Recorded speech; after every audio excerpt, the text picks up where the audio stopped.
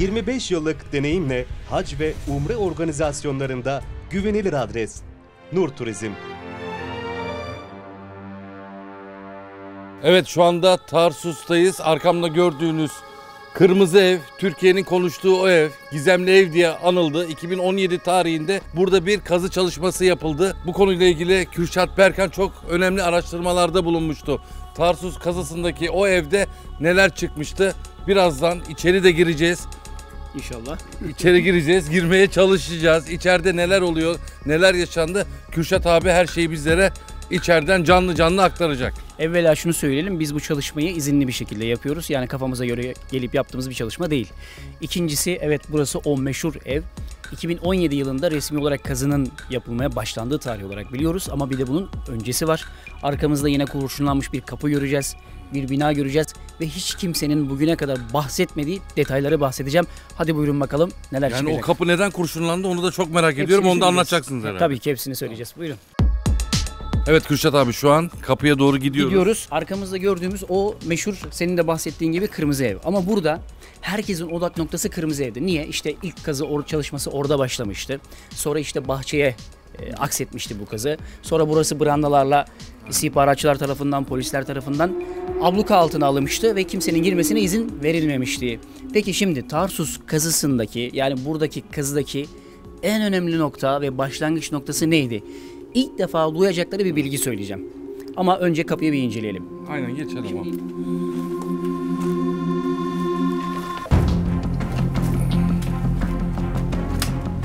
Şimdi kardeşim meşhur kapı bu. İddialara göre, beyanlara göre burada daha önceden defineciler bir çalışma yaptı. Bu çalışmaların neticesinde aralarında bir husumet çıktı. Burada küçük bir çatışma yaşandı. Bu izler bunun eseri. Ancak bunu yalanlayan beya- beyanlar da var. O beyanlarda diyor ki hayır burası daha sonradan işte serserilerin gelip kurşunladığı yer. Aslında bu bizi çok ilgilendirmiyor. Asıl ilgilendiren iki tane nokta var. Bir hemen senin arkanda görmüş olduğun ve ilk çalışmaların alt katta başladığı kırmızı ev ve hemen burada hiç kimsenin bahsetmediği gizli ev. Niye gizli ev diyorum biliyor musun? Yani ben de şaşırdım şu an. Hani burayla oranın ne alakası var? Hiç kimse bahsetmedi. Bak bugüne kadar hiç duyulmamış bir, bir bilgi buradaki ev meselesi. Bu ev çok önemli. Neden çok önemli? Hemen söylüyorum. Defineci arkadaşlara bir Ermeni kadın geliyor. Zaten macera böyle başlıyor. Ermeni kadın geldiğinde bir haritayla beraber geliyor. Bu haritayla beraber bu evi bulduruyorlar. Ermeni kadının beyanı şu. Diyor ki benim çok eski akrabalarım böyle bir evde oturuyorlardı. İşte ön taraftaki evi gösteriyorlar. Hayır değil diyor. Bu ev arkada olduğu için gözükmüyor. Bir süre arıyorlar. Burayı sonradan buluyorlar. Bu evin içinde yaşadığını ve bu evin içinden oraya bir tünel gittiğini beyan ediyor. Bunu ne kadar doğru ne kadar değil bilmiyoruz ama bildiğimiz şu. Ortada bir Ermeni kadın var. Bu Ermeni kadın haritayla definecileri buluyor. Daha sonra evi buluyorlar. Evin altından oraya tünel gittiğini söylüyor. Ve bu define olayı çevrede yaygınlaşmaya başladığında bu sefer tabii ki emniyet birimlerine de haber gidiyor, bilgi gidiyor. İşlerine bir polis memuru arkadaşı sokuyorlar definecilerin arasına. Lakin iş büyüyor, büyüyor, büyüyor. Aşağıda mahzenler, odacıklar vesaire çıkmaya başlayınca polis memuru arkadaşımız operasyon yapılmasını istiyor. Tamam diyor bak sonuca ulaştık. Ama operasyon yapılmıyor bir türlü. Onda da başka sebepler var. Üzerinde gizlilik kararı olduğu için detay anlatamıyoruz ama velhasılı kelam bu sebeplerden ötürü polis memuru hayatını kaybediyor. Polis memuru arkadaşımızın eşinin beyanına göre öldürüldü. Ama diğer bazı resmi beyanlara göre ise intihar etti. Bunu net olarak bilemiyoruz. Lakin önemli detay tekrar söylüyorum. Arkamızda gördüğümüz ev ve emin ol bunu Türkiye'de ilk defa biz açıklıyoruz. Peki ilk kazı bu evde mi yapıldı? Bu evde alan tarama cihazları ile beraber tünel arıyorlar.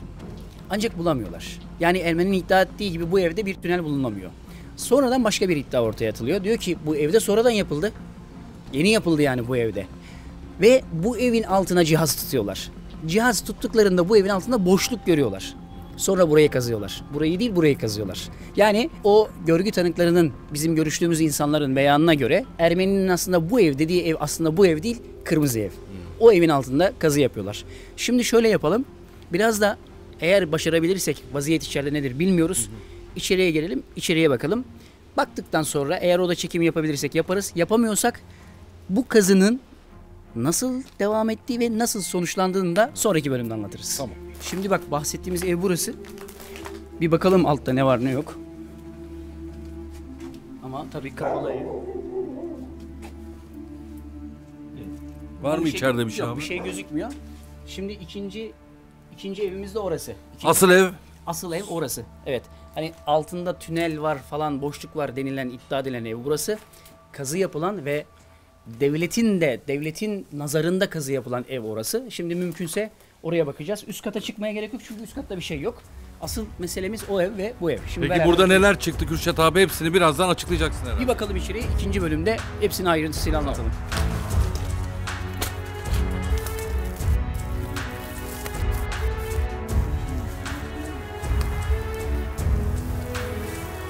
Oradan eve giriliyor mu?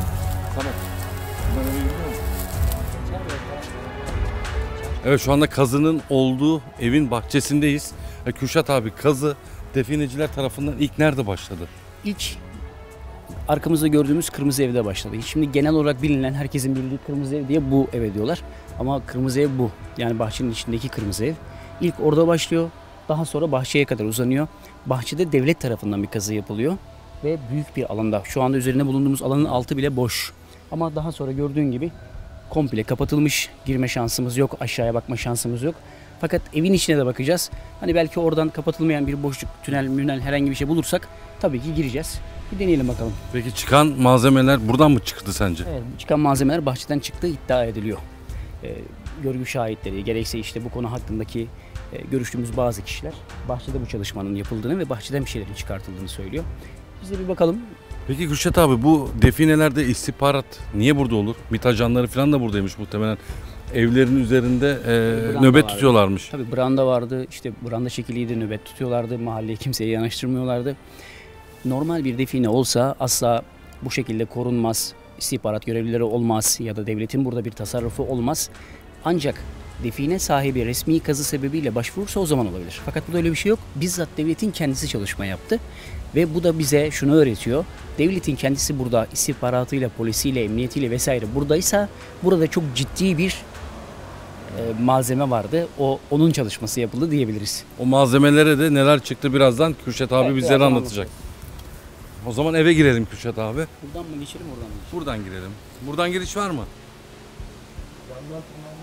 O zaman buradan geçelim.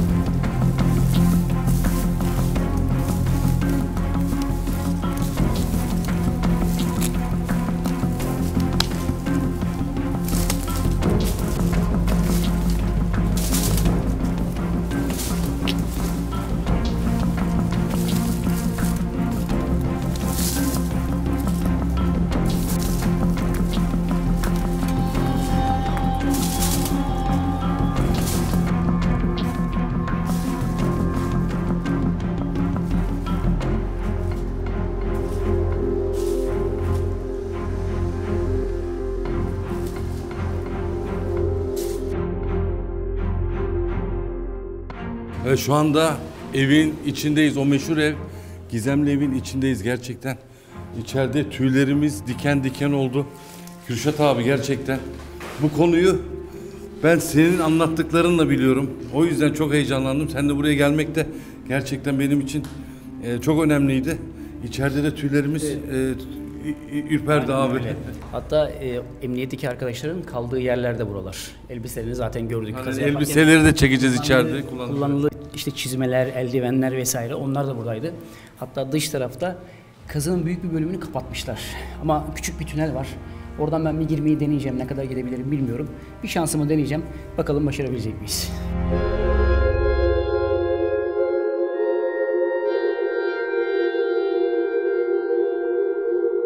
Evet arkadaşlar gördüğünüz gibi burada da cam kırıkları, pencere kırıkları vesaireler var.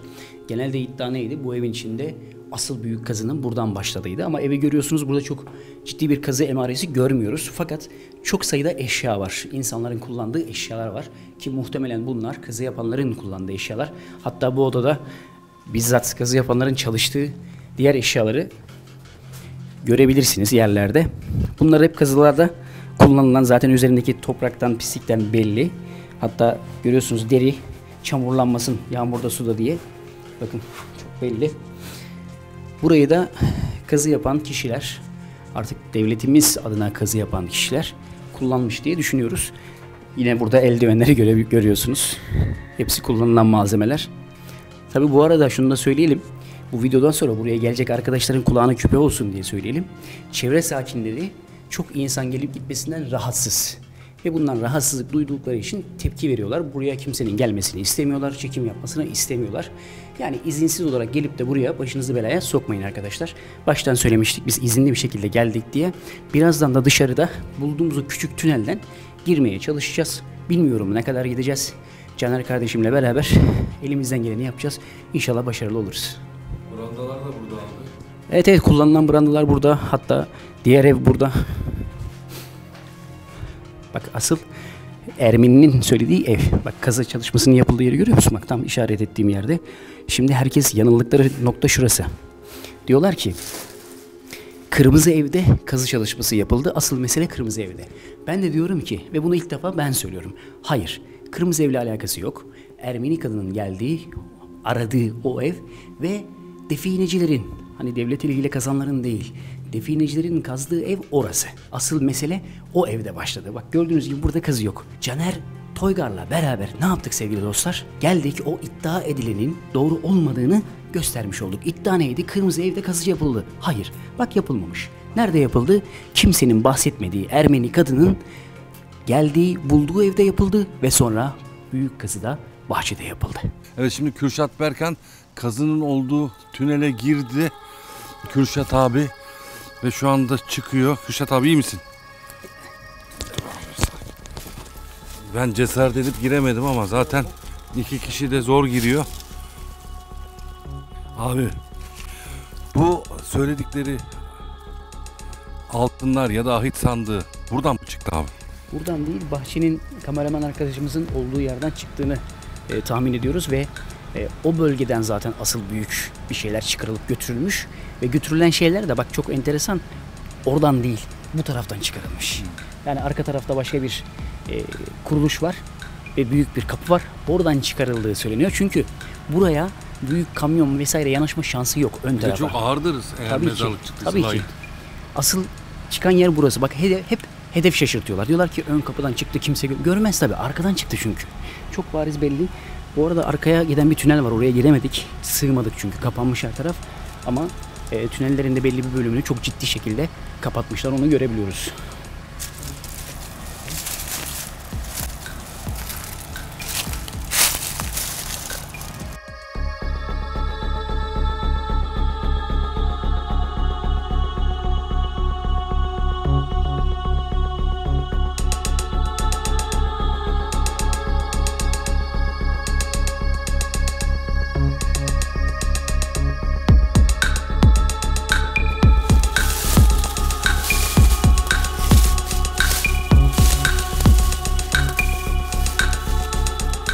Kürşat abi buradaki tahtalar ne oluyor? Aslında buradaki tahtalar çok net bir şekilde kanıt.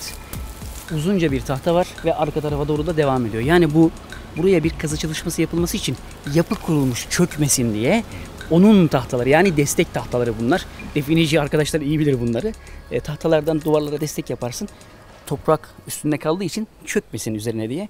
Bu da e, o tahtalardan bir set. Tabii bir kısmını kapatmışlar ama ucu e, gördüğün gibi kalmış.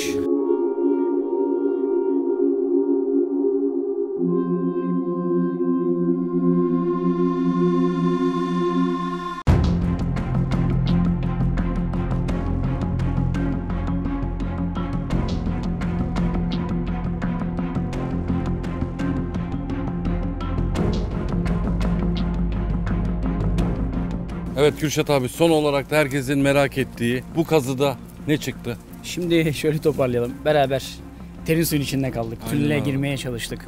Evin altında büyük bir tünel olduğunu gördük, şahit olduk. Kameraman arkadaşımız e, çekmeye çalıştı.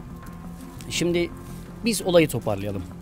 Beyanlar şu, görgü tanıklarının söylediği, bilen bazı arkadaşların söylediği ve bizim de bir görüntüye şahit olmuştuk. Önce ondan başlayayım. Bana izletilen bir görüntü vardı. Bu görüntü buranın altında büyük bir e, uzunlamasına odanın içinde bir lahit. Ama normal bir lahit değil aslında çok da güzel bir yerde duruyoruz. Bak burası bu duvar insan boyunda. insan boyunu aşan boyda bir lahitin ve uzunluğu da çok uzun olan bir lahitin olduğuydu. Lahitte enteresan durumlar vardı. O enteresan durumlar neydi? E, lahiti yanında işte çekim yapan ya da yanında bekleyen kişiler de farklı üniformalara sahipti. Burada söyleyemiyorum. Farklı üniformalara sahipti. Bir de yeni yasa çıktı. Her şeyde söyleyemiyoruz. Farklı üniformalara sahipti. Bu lahitin etrafında bazı motifler vardı. İşte Hazreti Meryem figürü kucağında bebekle yukarıya doğru tutmuş. E, farklı e, hayvan figürleri vardı. Lahit'in kamera çekiyor Lahit'i. En başına geldiğinde çok daha enteresan bir detayla karşılaşıyoruz.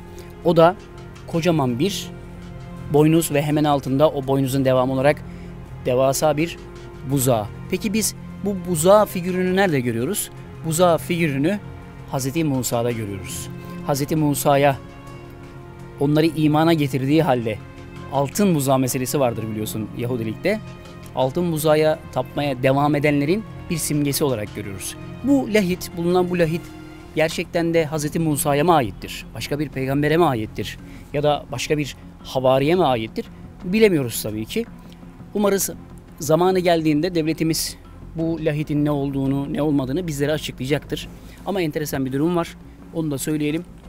Kardeşim de tünele giriş yapmaya Aynen. çalıştı. Gözleri toz oldu.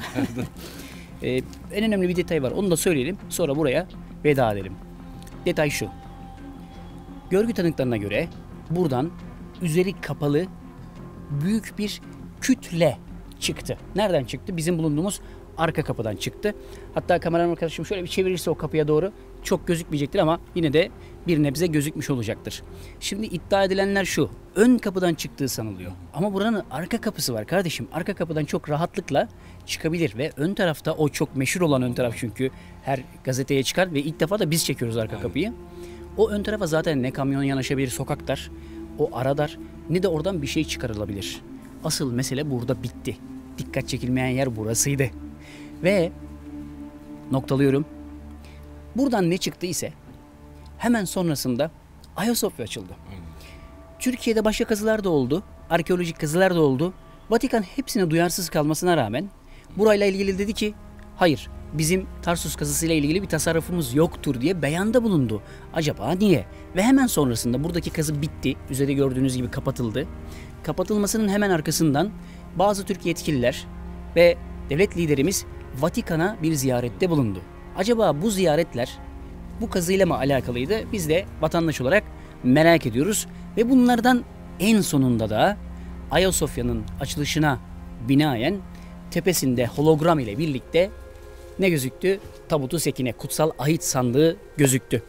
Yani hepsini böyle bütün puzzle'ları bir araya koyduğumuz zaman biz e, burada yapılan kazılarda e, acaba ahit sandığı mı çıktı düşüncesine Gözdağı mı verdiler acaba? Bakın ay sandığı da bizde. biz de Barnabas İncil'i de buradaydı. Hatta yine e, ilk çektiğimiz videoda senin kanalına atmıştık. Ne demiştik?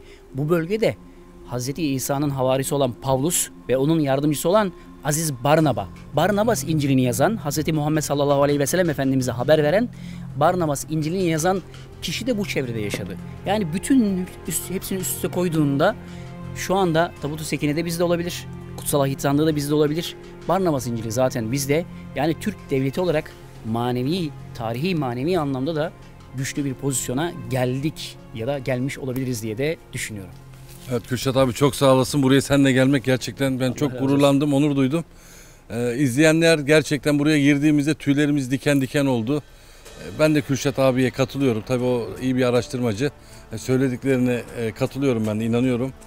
E, muhtemelen buradan e, benim fikrim, düşüncem e, dediğin gibi abi ahit sandığı çıktı. İnşallah öyledir. Başkalarının elinde olacağına Türk milleti olarak, aziz Türk milleti olarak bizde olsun.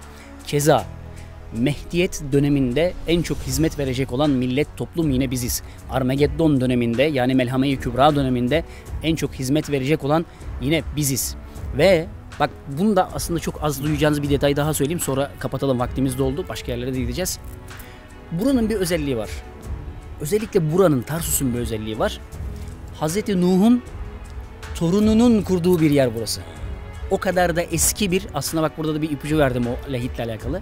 Hazreti Nuh'un torununun yaşadığı ve kurduğu bir şehir burası. Bu açıdan da tarihi önemi çok çok büyük. İnşallah devletimiz de bunun kıymetini biliyordur diye düşünüyoruz. Evet teşekkür ederiz Kürşat abiye de çok sağ olun. Çok teşekkür ederim Kürşat teşekkür abi. Şimdi nereye gidiyoruz abi? İkinci bölümde de Şimdi Tarsus'ta gelmişken Tarsus çok zengin bir yer. Ee, buradan Dalyan Peygamber'e gideceğiz. Ve kısmet olursa çok önemli bir dergahımız var. Ve sevgili dostlar o dergahta bu kardeşimin de farklı bir anısı var. O bu kardeşim için bir özelliği var. Bu sefer ben ona soracağım. O anlatacak. Ee, o dergaha da gideceğiz. Gerçekten mucizevi bir Aynen. dergah.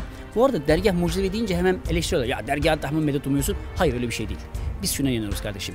Hayatta biz fizik bedenimizin haricinde bir de enerji bedenimiz var. Dergahlar dediğimiz yerler ya da e, yatır dediğimiz yerler biz gidip yatandan bir şey zaten beklemiyoruz. Biz Allah'tan bekliyoruz. Lakin oranın pozitif enerjisine inanıyoruz, güveniyoruz. Biz negatife düştüğümüz için bir telefon gibi oraya gidiyoruz. Kendimizi pozitif anlamda enerjide buluyoruz. Olayın özü bu. Evet. Kimse bir şey saptırmasın yani. ikinci bölümde de oradayız. Sürpriz olsun sizlere. Kendinize iyi bakın. Görüşmek üzere. 25 yıllık deneyimle hac ve umre organizasyonlarında güvenilir adres. Nur Turizm.